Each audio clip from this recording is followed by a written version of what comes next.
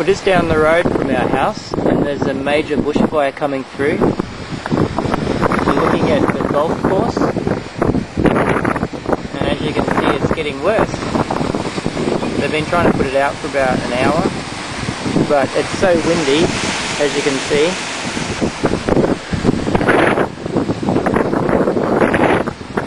But it's making all the atmosphere on